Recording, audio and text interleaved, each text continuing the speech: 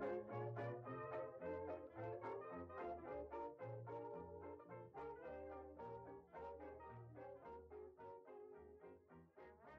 Welcome to There's Sometimes a Buggy Irresponsible Opinions about classic film. I'm Elise. I'm Dave. This week we return to the Jean Arthur Acteurist oeuvre review with a pair of films that she made in 1940 Too Many Husbands and Arizona. Both films made with the director writer team Wesley Ruggles and Claude Binyon. We've met them before on the podcast. They had taken up residence at Paramount in the late 1930s. Did we see anything of theirs other than True Confessions? I don't think so for the podcast, but we have seen The Gilded Lily. We've seen Sing You Sinners. I met him in Paris. That's another one where two men and one woman are in the mix. This is post Capra. That's an important thing to note before we even get going. Capra left Columbia after Mr. Smith goes to Washington, and it seems like Jean Arthur has found her new collaborator in Wesley Ruggles, and we'll have to see how they did in these two disparate films. The first of which is a farce or screwball comedy, the second of which is an epic western. Let's hear from Leonard Maltin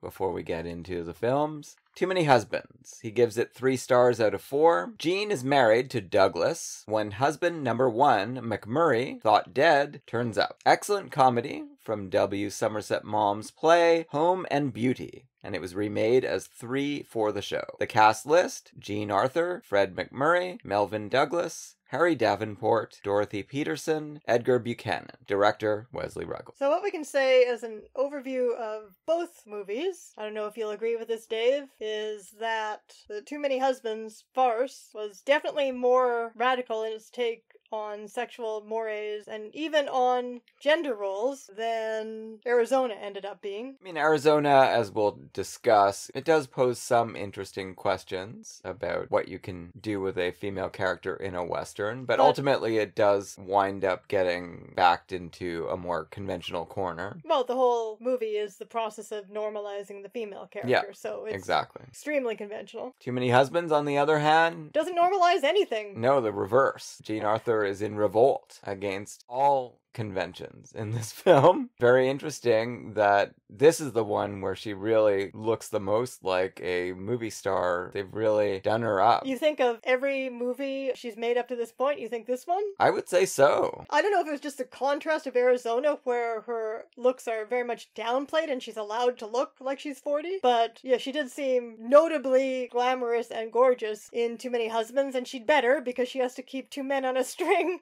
for the entirety of the movie. And Although she, she does. a pretty good job of keeping William Holden on a string in Arizona anyway. So I found this bit of information in TCM site's notes on the film. It says here the PCA, or Production Code Authority, informed Columbia in October 1939, so several months before the movie appeared, that the script of the play was in violation of the production code because of its apparent lack of any respect for the sanctity of marriage, mm-hmm. its farcical treatment of the subject of bigamy, and its very frank and detailed discussion of the unsavory subject of divorce by collusion. So, of all of those issues, the only one that's clearly been resolved in the final screenplay is the divorce by collusion. No one conspires with anyone else to end a marriage. It's all ended by judicial fiat at the end of the film. I don't know if the nosing around of the police officers or the patriarchal interference of the father were enough to placate the production code. Of course, it ends up just making everything seem smuttier. what the production code is there for, to make everything seem smuttier. so that it can be condemned. This movie has some points of comparison to the more familiar and popular My Favorite Wife that came out the same year. And we'll be discussing that one in depth for our Valentine's 2023 episode, just a few months away. How closely do you think these movies compare, though, Dave? Other than the plot involving the threat of bigamy, there's really not much else that winds up being the same because My Favorite Wife is all about concealment and it's about Cary Grant being frazzled trying to navigate this difficult situation. Too Many Husbands is about Jean Arthur reveling in the situation.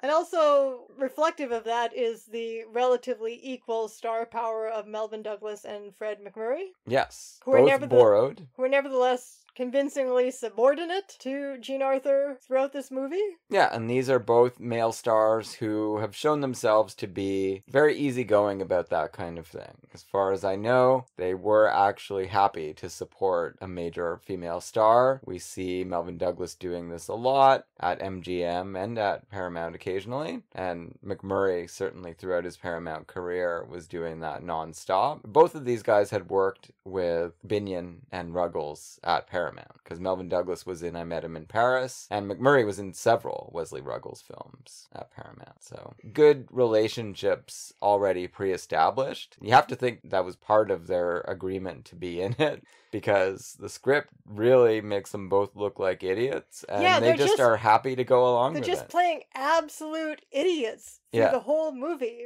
Yeah, seemingly with the greatest of joy.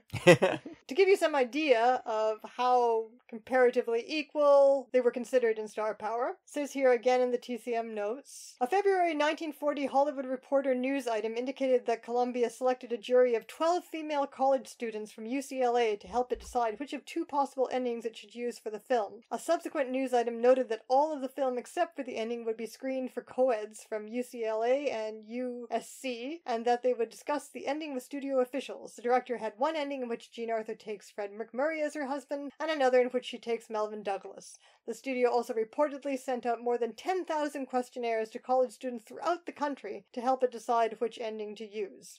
So the people voted, or the college students voted for Fred MacMurray, and he is he is portrayed as the slightly sexier husband. But the ending doesn't really resolve anything. no, it totally undercuts all of that. She's going to keep both of them in perpetuity, it would seem. Of note here, this seems to be a strategy of Ruggles and Binyon in other movies that we've watched, other comedies that we've watched of theirs. The roughly equally matched male suitors. He's worked with Melvyn Douglas before and I Met Him in Paris at Paramount, with Fred MacMurray in The Gilded Lily. In several films, but yeah, notably in this case, The Gilded Lily. Who was the actress in that one? Claudette Colbert. It's Colbert also?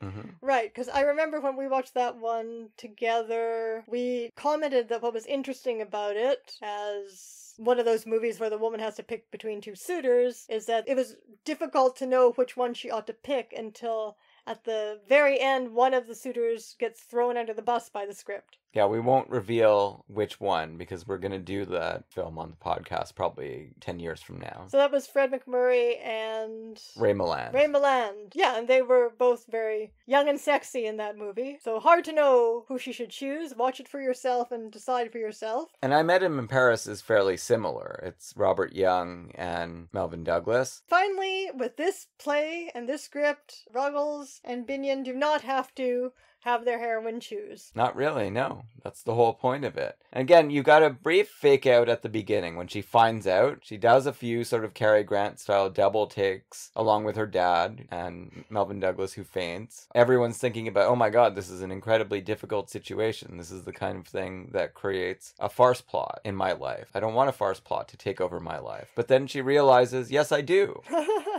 but before that, we have a very interesting way that we get some exposition, some insight into what's going on in Jean Arthur's mind before this dilemma presents itself. So we find out that both marriages have their disappointing sides. And we find all of that out through a genius. Well, let's call it let's call it insane expositional strategy. Oh, I love it. I think it's Because brilliant. the normal way to do this scene would maybe have the secretary say, I'm getting married, and then, I don't know, maybe Jean Arthur could just confess all of this that's on her mind to her. No. But that's not how it goes. Dorothy Peterson, one of my very favorite supporting actresses, having a blast in this film. This may be her most memorable role. And now both of these movies are good examples of something I've been talking about again a lot lately in the episodes, which is the Hollywood movie standard of one female character, one important female character, and no other female characters in a million men. Particularly Arizona, Well, yeah. where she's the only white woman in the town and in the movie, and there's only one other speaking role for a woman. Yeah. In this one, there's also, if I recall correctly, only one other speaking role for a woman, maybe only one other woman we even see. And this is it, but it's memorable. It absolutely is. We find out that Dorothy Peterson, she's giving up now. She's marrying a man she doesn't love. You want to know why? It's because I've only loved two men in my life and you took both of them. And she says, you know, what chance do I have to compete with you? Hmm. Jean Arthur is like, oh, well, don't be ridiculous. But Dorothy Peterson pulls ahead with this psychodrama that she has been invested in for years, it seems. So she projected herself into the marriage of Jean Arthur with Fred MacMurray. And very successfully, because as she's telling this story, Jean Arthur gets really caught up in this as though they are the same person. We were so disappointed when it turns out that Fred MacMurray couldn't stick around the office or even at home. He has to disappear to parts unknown on adventures around the world, and of course, leaving his wife behind. This is how he got himself into this predicament, presumed lost at sea for a year. The honeymoon was wonderful, but it evaporated quickly into this endless safari. She turns to husband number two, Melvyn Douglas. He loves her. We see little examples throughout the early bits of the film that he is obsessed with his wife, doesn't want to deal with this challenge of the dead husband, wants to eradicate his memory if he can. Unfortunately, he hasn't been all that present in the marriage either, and the secretary sees that because he's so caught up in business affairs with his publishing company. So I guess these are two typical complaints a wife could have Absolutely. about her husband. In 1940, these would be the two poles of poor husbandry. Going off on adventures and. Never uh, coming home from work. Yeah, there you go. That's the last time we see Dorothy Peterson, right? She's not involved in any of the rest of the film, but She- she goes out in a blaze of glory. She's been absorbed inside the mind of Jean Arthur. I don't know. The other thing of note is the farcical acting style that Wesley Ruggles encourages his actors to adopt here, which is somewhat undercut or lent some further dimension by his interest in Jean Arthur's erotic face journeys throughout the film. hmm She's really, really getting a lot of sexual pleasure out of this situation. Yeah, It's kind of obscene. it's incredible, and she's really playing it up, and the camera is there to capture it. It's there for it. It's yeah, it's really slipping some things past the code there. the idea here is that Jean Arthur has not gotten what she wanted out of her marriages, either of them, and now that both men are back in play, she's gonna take advantage of the situation to force them to focus on her exclusively. and one of the things you keep expecting from the plot, or I did anyway, was that at some point there's going to be some kind of variation, at least, where the men will rebel against this, right? Who will come up with something between themselves. Well, they try, right? They go away for a night. Yeah, but even that is just to get her to pay more attention to them. No, they never get any kind of a revenge on her. Or in any way break out from this competition. Although they get friendlier about it. They start to realize that they're just permanently in this situation. Never get out of it because the last scene shows that this is gonna be It's going to be the rest of their lives. The only thing that's of more interest, and they are best friends, so that is important to this narrative too. The only thing that's of more interest to them than their interests that were taking them away from their wife is competing with each other. Well, there is that. There is that. Although I think the movie makes less of that than it would have if it was a different kind of film, because it still wants you to think more about Jean Arthur and what she's doing. Well, competing with each other specifically for her. In another context, you might get a movie where it seems like the prize is irrelevant. And that's not how this movie plays it, right? Sure. Because we've seen movies where it's really all about two men competing, maybe for the same woman, but the woman is not important. That's not what they're doing in this movie. But there has to be some reason that there's enough of an attraction for them to stay in this situation rather than give in to their usual distraction. Well, yeah, it's because Jean Arthur is saying, You can't take me for granted. I'm not just your wife right now. I am someone Well, yeah, that has to be courted I was continuously. say, yeah, I guess it's because they're being kept in the wooing state. And she likes it. We should talk a bit about the bizarre role that her father assumes at the beginning of this story. He's like the voice of superego or patriarchal authority who keeps telling her that she can't continue to enjoy this, to experience the jouissance of this situation. She has to choose between them. And also, he's going to carefully guard the situation. Basically, right from the very beginning, and this is the farce aspect, you are meant to be thinking constantly about the probability of her having sex with both men. Yeah, and I think it's actually very canny of the film and you know, by design, they cast Harry Davenport in this role, who is the least authoritarian patriarch figure you're ever going to see, right? Right. Almost always he plays the indulgent grandpa. Or we just saw he's- him in You Can't Take It With You as the judge who lets things develop, you know, in a more freewheeling way in his court. And that's what happens here. So even though, yeah, he's making noises like a patriarch, he's not able to enforce No. anything. Definitely not. And he's not even really trying. He just feels like he has to make these speeches. Again, that just goes with the flow of the film, which is that Jean Arthur is going to get her way in everything in this situation. And oddly enough, not only are we constantly thinking about that, but the men form a homosexual couple almost immediately in the film as well. Not one that we're supposed to take seriously. There's a lot of joking about it. That's the only way that you can imply a homosexual relationship at this time in a film, or one of the few ways in which you can do it. We're getting some kind of more comedic but definite implications of something more like a threesome. Trying to get viewers to think back to something like Design for Living. Right. I can't remember that film very well. Is there some flirtation between the male characters? Well, yeah, that's an explicit threesome story, right? It's the Noel Coward. Well, it can't be that explicit. The play is, I think. Really? But no, not the movie. The movie gets it across, I think. it's the Lubitsch one, right? I'm not even sure if Noel Coward was allowed to be completely explicit on the stage about that sort of thing, but Okay, maybe not completely explicit, but as Get- get explicit your- as he needed to be for sophisticated theater Right. goers to know what he's talking about. right. Now here this is treated like much much less seriously, but still it's there. It's in the in the mix of the subtext or Yeah. or the text actually. So basically we're to think all sorts of possible naughty things going on between everybody. On the screen, the men are exiled to their own guest bedroom, which is all furnished with, you know, the latest frilly things. Jean Arthur gets a double bed because no one actually sleeps with her in it, but they are exiled to a room with Bert Nerdy twin beds. Yeah, but that double bed, obviously, as you say, because no one's actually going to make it into that bed, they can leave it that way, and it's there as the The goal line Yeah, yeah, yeah.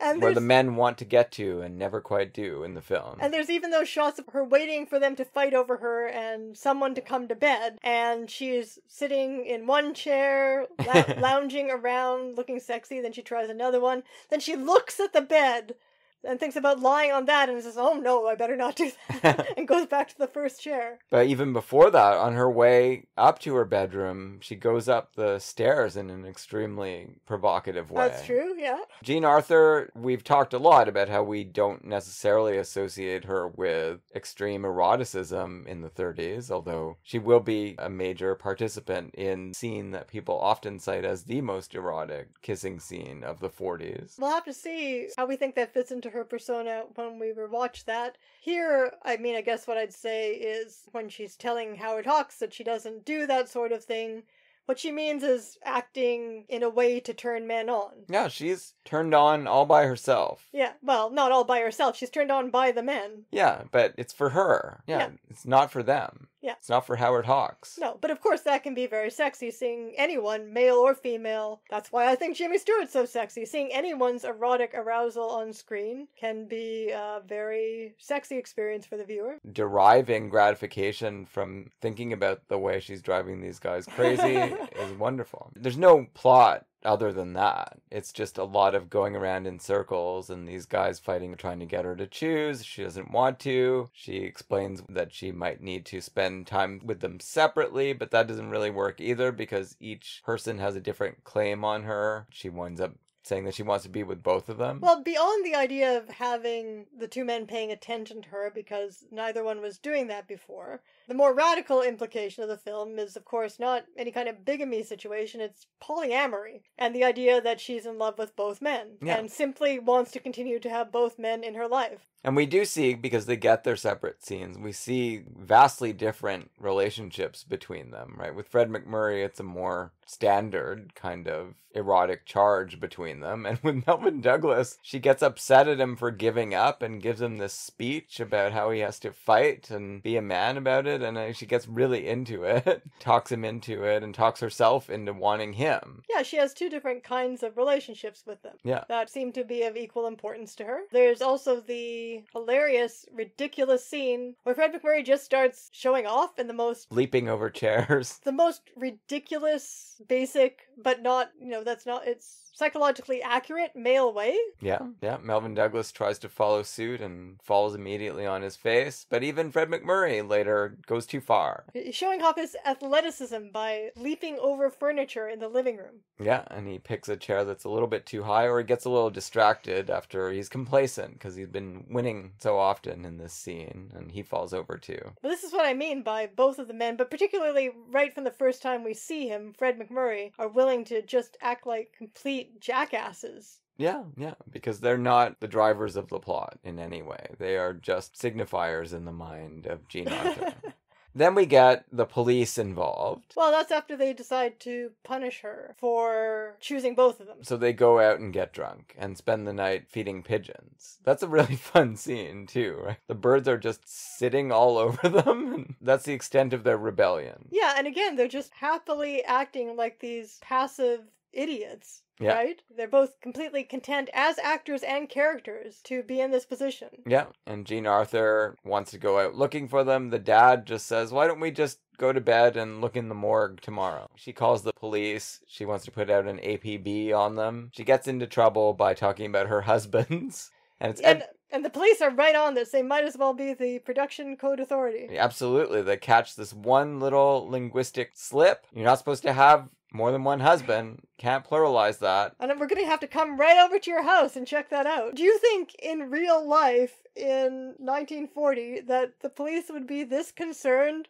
with possible bigamy? No, of course not. This is the Breen office coming to the house. Right, or it's just the whole idea of women's sexuality being policed, or everybody's sexuality being policed, but particularly women's. And it's Edgar Buchanan, and we see him in both films, actually. He's in Arizona as well. What the police would be very interested in is if they uncovered a homosexual relationship, of course. Depending on the city or the state, yeah, there could be huge repercussions, and it was technically illegal everywhere in the United States, I believe. He and his partner, Tom Dugan, come over, and they start interrogating everyone because the husbands have returned at this point. They almost get away with it because Even the butler gives the right answer. Yeah, Melville Cooper. So yeah, great character actors in this film. Melville Cooper we saw most recently in The Lady Eve. Edgar Buchanan you probably know best from Penny Serenade. He plays Applejack, their best friend guy. This is actually a very funny scene with these Lynchian detectives. Yeah, they really want to get to the bottom of this. They want to catch someone in a slip. 95% of the scene, it goes the way Jean Arthur wants. That's a pip,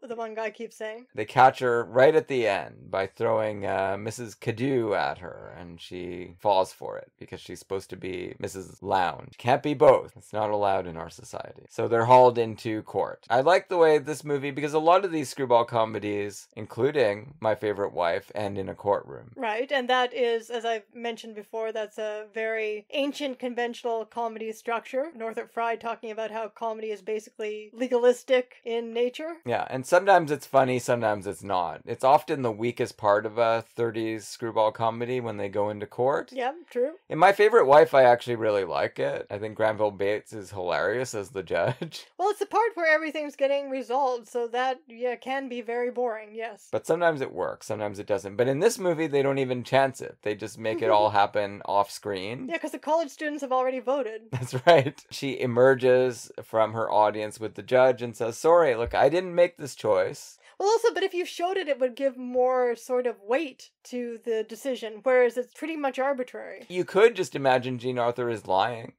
but I guess not, because she'd be arrested eventually if she was living with the wrong man, or she'd get into more trouble anyway. Schrodinger's marriage here. Yeah. She says the judge has basically annulled the Douglas marriage because she should not have been allowed to leave the first marriage because he wasn't because MacMurray wasn't dead. But that is, of course, the college students chose the dirtier solution because that means that she's been having uh, non marital sex this entire time That's with right. Melvyn Douglas. That's right. We just have to forget about that.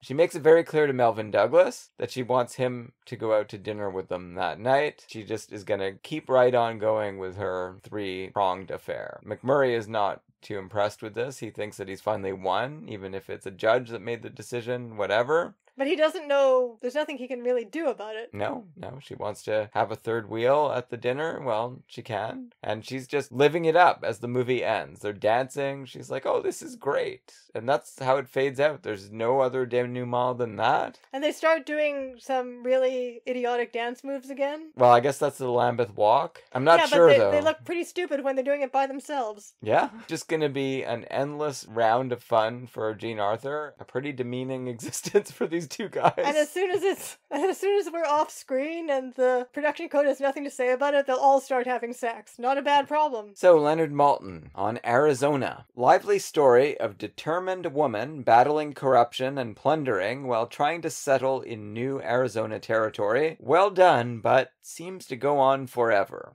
It's 127 minutes. He gives it two and a half stars out of four. Cast list Jean Arthur, William Holden, Warren William, Porter Hall, Paul Harvey, directed by Wesley Ruggles. I've actually got some things I can bring in from the John Oller book here. Arthur's performance as the pioneering Phoebe Titus, while charming at times, lacks the conviction she brought to the role of Calamity Jane in The Plainsman. That's probably true, although The Plainsman is a much bigger mess narratively. I don't know what that means. Lacks conviction. well, she really got into that whip scene at the beginning of The Plainsman. Well, she doesn't. well, I don't know. She kind of really gets into threatening the guy with a gun in this movie. I'm not sure I necessarily agree, but that must be where he's going with that. Perhaps this is because she reserved most of her passion for the cast's animals. She adopted a dozen or so stray dogs, several of them lame or blind, and kept them at the private guest ranch she had rented. For another 40 mongrels that were selected from the local pound to appear in the movie, she collected sacks of groceries and hired veterinarians to look them over. Often, late at night, she drove 20 miles from her ranch to the set to assure herself that they were being properly cared for. She had the cast pigs hosed down with kerosene to cure their skin diseases, and when she saw the goats with nothing to eat but cactus, she ordered in tons of bales of hay, which they promptly ignored in favor of the cactus. At the close of filming, Arthur was frantically searching for a way to save the mongrel dogs, who were otherwise destined for the pound's gas chamber. Her solution was to sponsor a show in the lobby of the Santa Rita Hotel, at which the dogs were given away to Tucson's underprivileged children. With each dog given away went a three year paid up license, a new leash and collar, and several months' worth of dog food, all courtesy of Jean Arthur. There's also some stuff in there about how she was really freaked out by having to compete in the beauty sweepstakes with William Holden, who's like 20 years old. So she didn't just freak out competing with women, but also with men. Yeah, she met him and apparently just walked out. What the hell is this? He's 20 years younger than me. Well, but course, apparently they became friends afterwards. of course, this is a very rare instance of a new, like a male starlet getting paired with an older generation of actor, of actress. Obviously, it worked the other way around much more radically especially in the 1950s and 60s, when these ancient male stars were still hanging around and getting paired with 20 year old actresses. Much less of a radical age difference here. This only happened because, again, Columbia had no male stars. This is basically their only one. Of course, this happens to William Holden a lot, though. He keeps getting paired with older women, usually not in equal romances like this one is, like what? like Sunset Boulevard Oh, okay. Interesting. and Picnic. well, no, he's older in Picnic. No, I'm talking about Rosalind Russell lusting Okay, well, sure. Like I said, not equal romances in those cases. But he comes to Columbia to star in Golden Boy, which they made in 1939, which is a great movie. And there he's paired with Barbara Stanwyck, who is older than him as well. But that's part of the plot. In this film, It's never commented on, but it's visually obvious. although I think he does a pretty good job, like he doesn't really seem like a 20 year old No, in this that's movie. true. But he seems significantly younger than she is. Like, keep in mind, this is made the exact same year as Our Town, where he plays the teenage guy Hmm, who's right. going, "Aw, aw, shucks." A stage teenager. Well, yeah, but he actually almost is a teenager. And here he's playing a kind of grizzled veteran of the trails, and he comes across pretty well in that role, I think. Yeah. But anyway, you can tell he's much younger and prettier than she is in this movie. sure. I don't know, she might win the beauty contest in Too Many Husbands, or at least have a fighting chance. She was worried about that role too, just in passing. Uh, she didn't think it made any sense for two men to be fighting over her. She thought that was ludicrous Well, because why she's didn't not she pretty just enough. why didn't she just stop taking any movie roles? Because she's obviously not pretty enough. Just She- just hang up your spurs, Jean Well- Arthur, and go home. She obviously considered it many times, as we've discussed in the past. Melvyn Douglas and Fred MacMurray, particularly Melvyn Douglas, aren't that pretty. Fred MacMurray has a certain wonky appeal, but Melvyn Douglas is not a handsome man. And no, that's not what he's primarily No. known for. He's got his dry wit, which he doesn't really use in Too Many Husbands. No, he's really got nothing going for him other than this easygoing willingness to play an idiot that Yeah. he shares with Fred MacMurray. And he would bring that to a Lubitsch film the next year, where he keeps poking Merle Oberon and saying keeks. That's his main character trait in that movie, driving her to distraction. Clearly, Melvyn Douglas never said, Am I pretty enough to be the love interest of Greta Garbo? Didn't ask himself that he didn't question. worry about these things. He makes her laugh. Melvyn Douglas is so unattractive and annoying that he drives Merle Oberon, his wife, into the arms of Burgess Meredith, that Lothario. Let's get into Arizona. So this is an epic western, and Wesley Ruggles would have been very much associated with that genre, if only in the distant past by 1940, because he's the director of Cimarron, which was a giant Oscar winner, which we will be doing at some point in the future. So this movie cost a lot, and it did lose money for Columbia. Did it? Yeah, it lost five hundred thousand. Wikipedia says. Oh wow! Well, the film's budget was two million, Right, that's a lot. and it went well over that budget. Apparently, So it made a lot of money at the box office, just not enough to recoup that investment. it was shot in the Sonoran Desert, On location, so that's where the bills start really adding up. and that is one of the points of interest of the movie when we're getting this tour of 1861 Tucson. Yeah. It all looks very, very authentic. I have to ask my pal Gareth about that. I mean, he grew up in Tucson. In 1861? No, he's a little younger than Yeah. that. So I guess there's two problems with the film. First of all, I should say that often when I'm interested to see how one of these old popular novel source plots differs from the movie version, the place that I go to is Goodreads, and it did not fail me on this occasion. So the author of the novel is someone we've encountered in Jean Arthur Land before.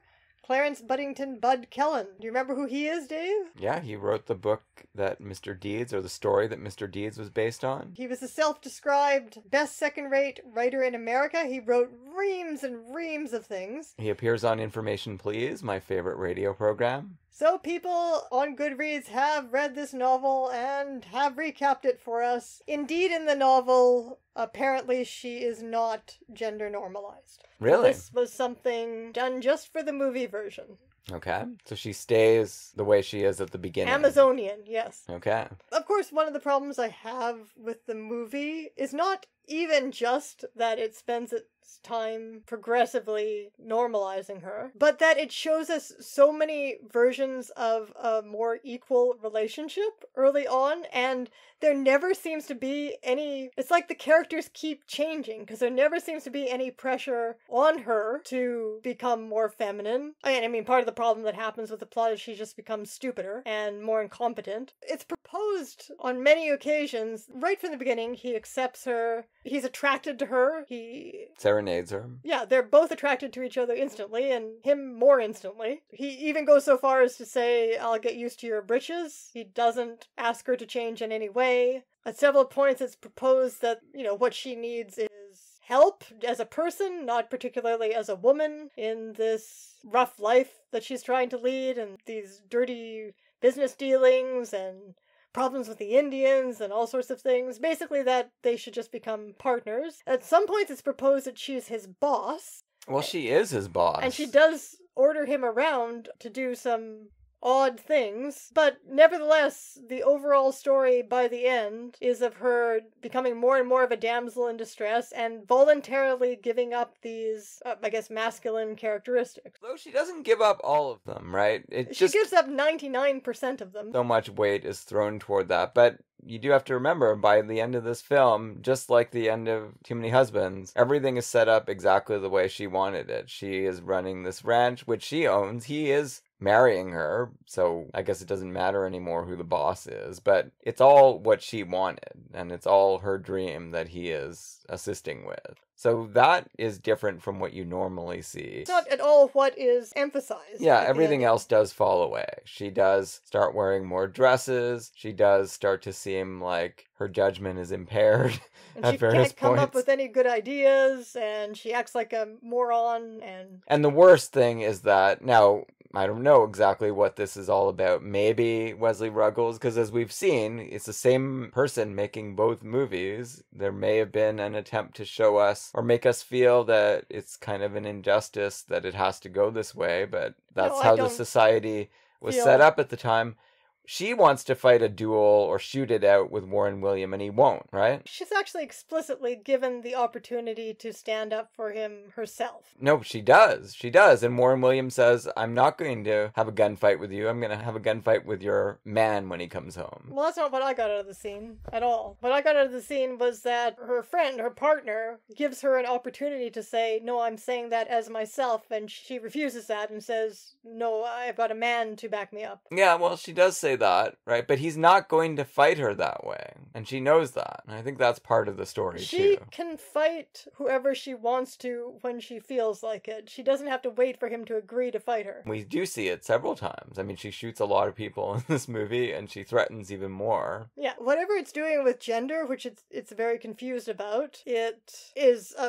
very conservative western. It's you can't read this in any way as a subversion or a satire, I don't think. No, I don't think so. I mean, it's the standard civilizing, quote unquote, Western where you're looking at the emergence of a viable town out of the chaos of, you know, early colonial settlement. And we're starting to get a sense that they will start building institutions that can last rather than just having gunfights out in the streets all day long and the town being run by saloon owners. The ultimate evil that you can do is sell guns to sell Indians. guns to hostile Indians. Only the devil would do that, which is what Warren William is kind of playing, and with no nuance or other notes whatsoever. No, and Warren William is one of my very favorite actors, but this is kind of a phoned in totally. performance. I mean, he's getting a little bit of fun out of it, especially with Porter Hall. Their act together is great. You're stupid. Yeah, it's kind of one repeat. you idiot. one repeated note. Yeah, well, the final note is a gunshot in the back. As Porter Hall, you know, he's so satisfied. Oh, I'm glad we're friends again. I'm so happy.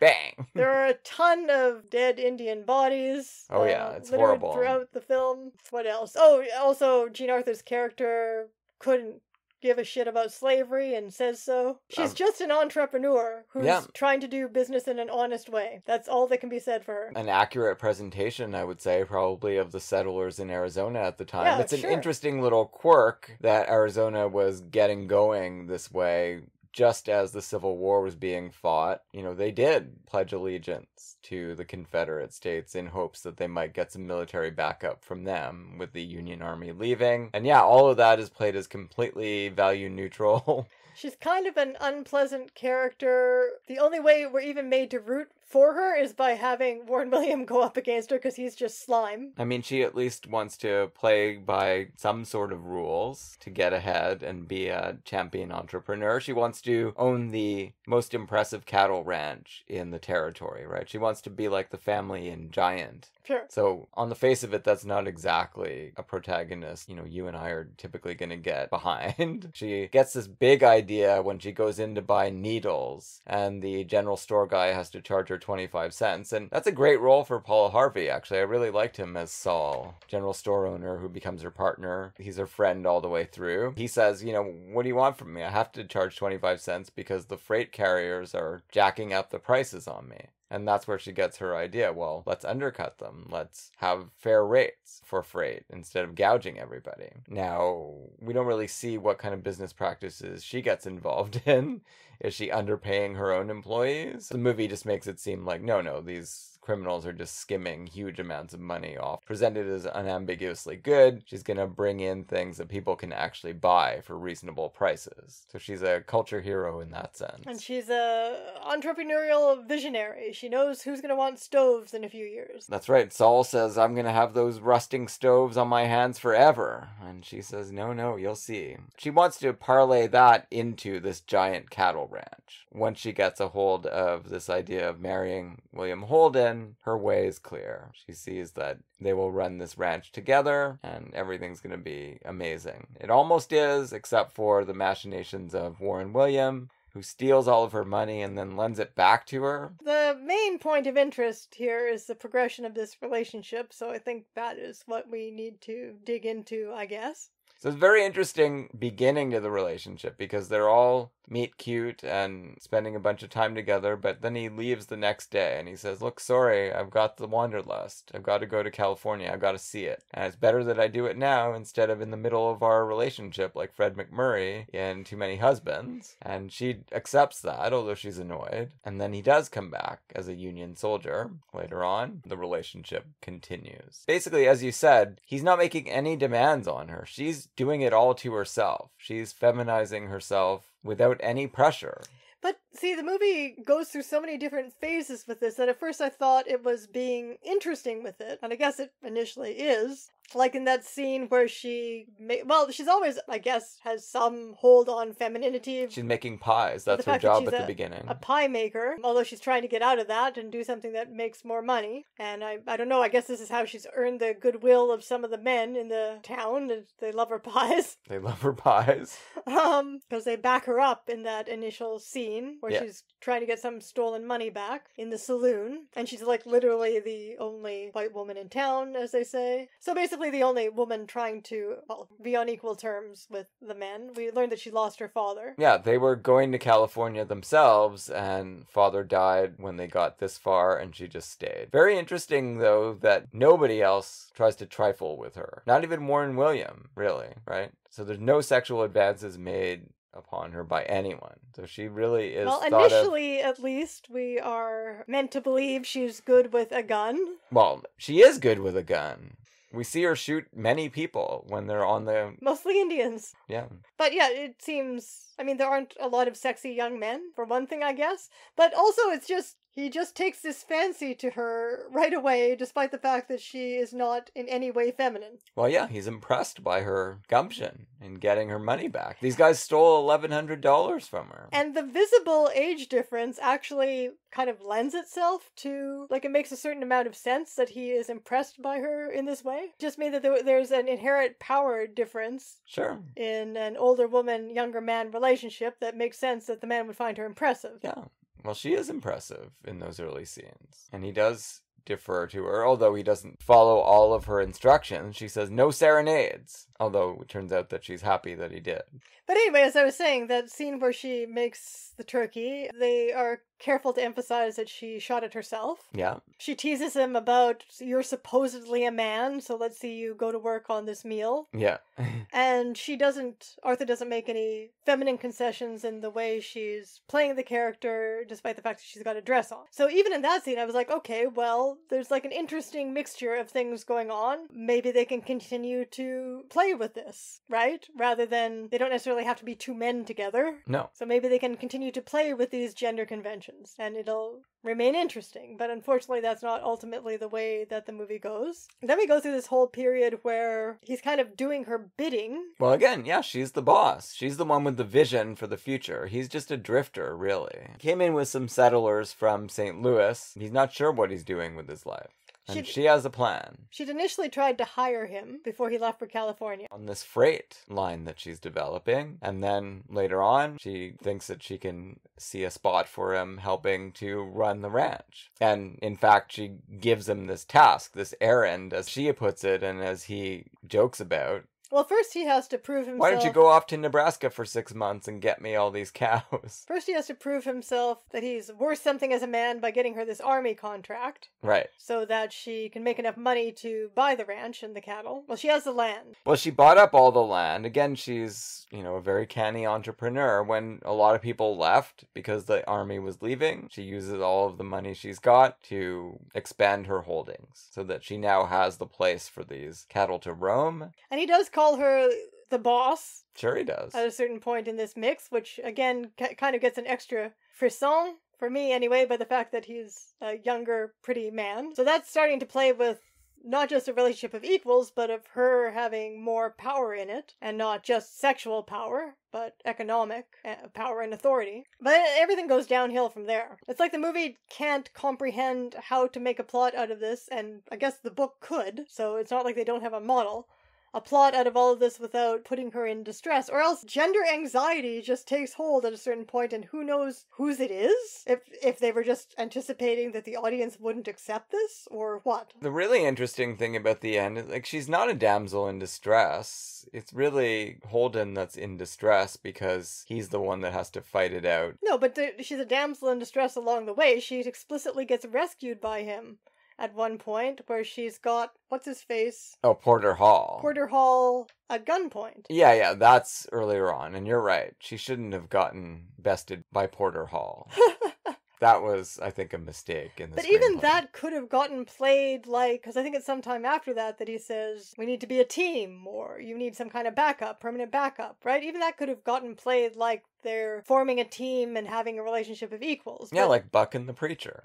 Yeah, You know, that one of them by themselves can't do it. exactly. But st- still, this is not the direction it goes in. I was giving it a chance at every turn here. No, and the final dramatic situation is that on their wedding day, so interesting, it kind of anticipates High Noon in some ways, right? The wedding day, the shootout that's coming. But even before that, he tells her, like, let- let's slow down a little bit here before we get to the ending. Even before that, when he leaves, he tells her, don't shoot your mouth off while I'm gone and get yourself into trouble and don't go off half cocked and you know try try to take matters into your own hands again so this voice of masculine authority just appears out of nowhere it's like the characters turn into different characters because we don't see the psychological progression of this at all except that i don't i guess she gets herself into some stupid situations or She does, and he's joined the army in the meantime, right? So that is a guess a different perspective that he's Maybe, yeah, maybe. But then she does. She does shoot her mouth off and get him into trouble. But then when they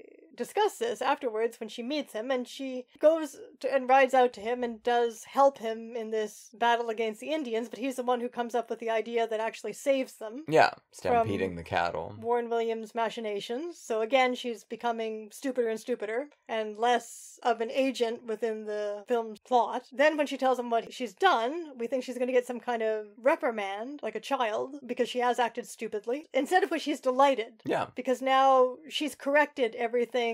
We never saw him want this correction toward a patriarchal norm, but now all of a sudden that is what the character wants, even though initially he didn't. It just they just turn into different characters. that's definitely a problem. And then from there on, from there on, that is the remainder of the story that plays out. And Warren William, you know, he's basically eliminating all of his co conspirators so that nothing can be proved in one of these dubious courts of law that are convened on the street at various points by drunken judges. So even that is not going to avail them anything. It's going to have to be settled on the streets in a gunfight. And that's, again, what makes me think of High Noon. With that conjunction of the fated gunfight and the marriage on the same day. But we are really waiting to see, I guess, because the movie has, within its own terms, thrown his masculinity into question so much by pairing him with her that we are waiting to see what the outcome of this is. There, I, lots of different things went through my mind. That she would be widowed and blame herself for it because she got him into this position. That she would join him in the fight. That Yeah. she would revenge him. The- basically, all of them better outcomes than just he proves he's a man. I agree with you. Although it does give her a pretty great scene Sure. where she's waiting. Yeah, but I just don't care. People are waiting to see if she's going to start crying because that's what they're expecting her to do. And Well, again, that's the that's the only concession the movie uh, makes to her being the same person as she was at the start of it. yeah, she's still just as tough. She's just in a, a wedding dress at this point. So you can't say of this movie that it can't imagine a relationship between equals where she is not expected to observe gender norms because it can imagine that. So that makes it like even worse what it does with the ending because it seems so arbitrary. There could have been other decisions made here. I'm not sure though. Could there have been? Do we have other examples of westerns that play with gender? Because I'm, I'm not too familiar with the Barbara Stanwyck ones. Are they? And they're not this early, are they? Yeah, sure. Annie Oakley is 1935. Mm, okay, I'm thinking more of her kind of cattle rancher Yeah, yeah, those are from the 50s. woman roles. But I'm wondering if if a movie comes on as strong with this with these ideas about gender as this one does at the beginning, does it necessarily have to resolve in this way? You know what I mean? It was much worse in The Plainsman. Of course, she became stupid the second she put a dress on Right. and incompetent. So if you're comparing this to that, it's revolutionary. and did Jean Arthur want this? Did she think this was necessary, like uh, Katharine Hepburn? Because we know she liked playing these androgynous roles. Did she think, like Katharine Hepburn, that it's necessary for her character to be feminized by the end of the movie, or Doesn't say anything about did she want changes to the Arizona script or not. There's nothing in there about that. But she was very concerned about Hollywood seeing her as a viable, attractive star. yeah? But she also wanted to play roles like this. Yeah, she's conflicted. Very conflicted. I don't think this was a good use of Jean Arthur's time. They spend a lot of money and time on this movie. And it ends up just being a ball of confusion. And also, like I said, the only dramatic interest in it is supplied by a real misuse of Warren William. The shifty man, Carteret. Now, do I really care about the kind of character she plays at the beginning of the movie? No, like I said, this is a thoroughly unpleasant person. The only thing that's interesting about her is that she is engaged in this defiance of gender norms, and that's gone by the end of the movie. You know, it's not it's not necessarily a, a model of personhood, this masculinized woman that I necessarily care about. But if you're going to do it, then have some consistency. Stick to your guns.